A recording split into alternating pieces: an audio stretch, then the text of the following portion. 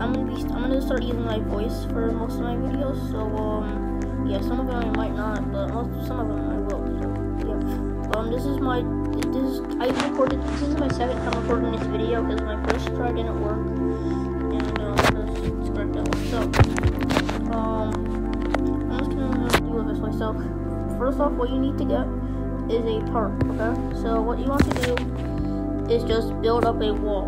So build a wall like this. Go like that. Well, you guys can pause this video if you haven't built a wall already. So I'll give you some time.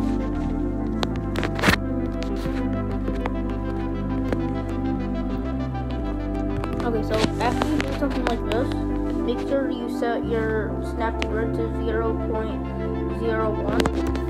Um, makes it more precise and stuff. So, um, yeah. So, next thing you want to do is actually not adding a door. You want to add in a conveyor belt. So, what you want to do is go to advanced conveyor, and then what you want to do. What I, I keep saying what you want to do, but it is what you want to do. So, then go like this. Make it like around this big. All right, and then what you, and then what you want to do next is take it, go like that, go like that, and what you want to do is so next thing you want to do is make sure so make sure it, the conveyor is all the way like this and the arrows point that way. Then can't collide off. So false. That's all you gotta do for now. Now the next thing I'm gonna have you do is so add in a go to moving parts, add a push block like this. Make it around so make it the same size as the conveyor belt. And obviously you can change it to whatever you want to look like, what you, what you want it to look like. But for me, I'm just gonna go simple. But yeah, just you can you can also copy the design, but if you want, you can. But the original originality is. So just go like that, and then make sure it lines up with the sides of the conveyor belt.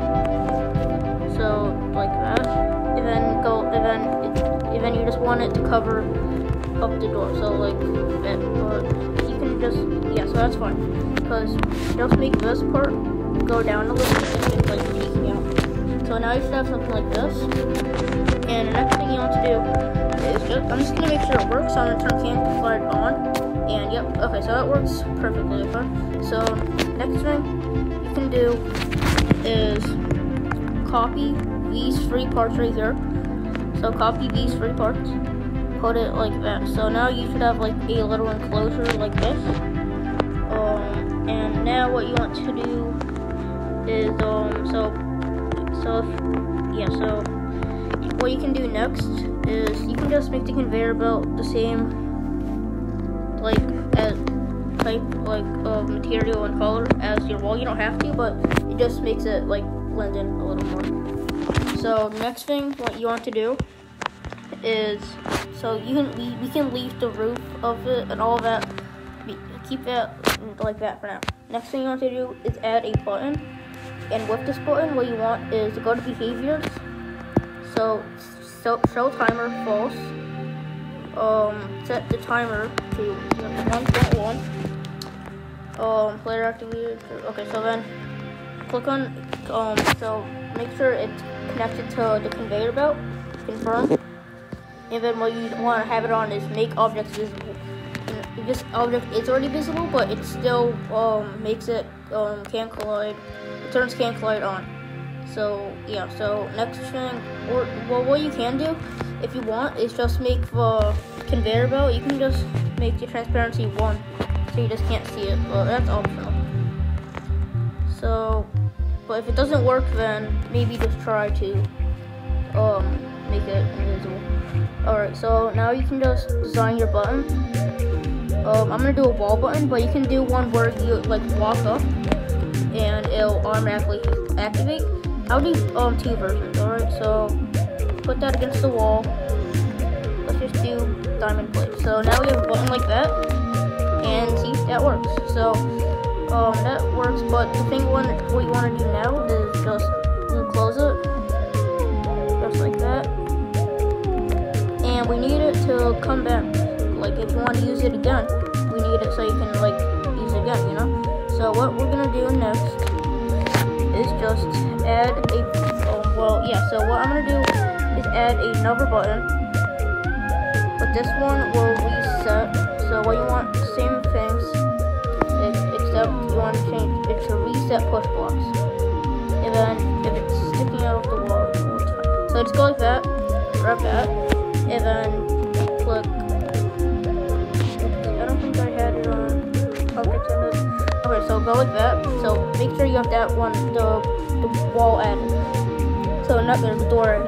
So next thing you want to do is just uh, make you can make this button red so it's more obvious of what it does. Now what you can do is just copy it to both sides like that. Um, I think you ought to hook it up again, but it's fine. So go like that, and then that. Alright, so now it should be something like this. So you go like, let me just reset. So what, what, when you click the blue button, it should go like that. Oh yeah, that's what I forgot.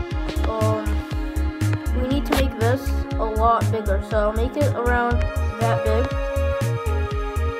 Um, go like that um, you can just like, so yeah, so just go like that, and then copy to the side as well. Um, make sure it lines up with the roof. Go like that. Now, now it should look something like this. Um, if you don't like how it's like uneven, something you could do is just add a wall here, or you can move the button, but your choice. I'm just gonna add a wall to make it look like, um, you know, it's like just, I don't know. So it just might add some depth. I don't know if that's right. But yeah, so you can just go like that, or whatever you want. Yeah, so um, now you should have something that looks like this.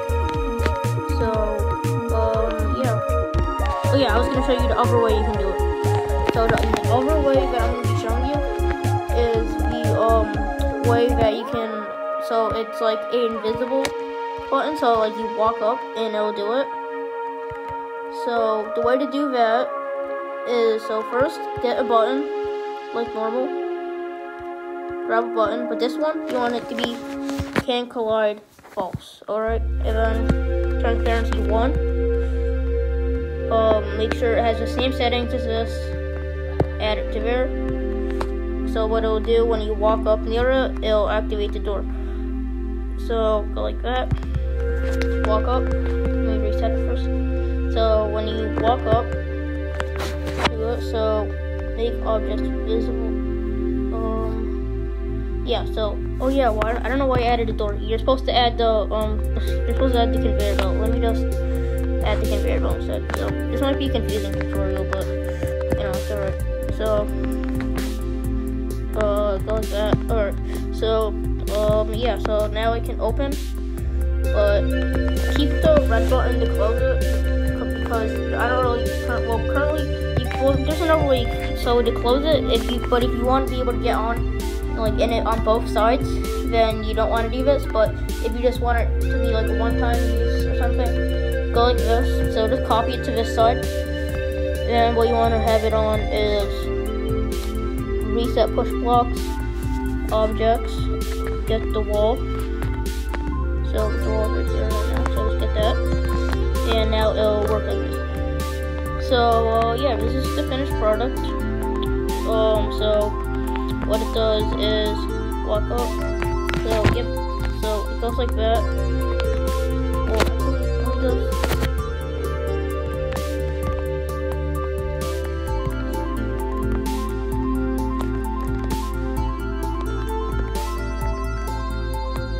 yeah, this is the finished product. This is gonna be the way with the um, automatic door. And and close it. Should close. If it doesn't close all the way, just make this part a little bit bigger. So like just like that. And then this is gonna be the way with the buttons.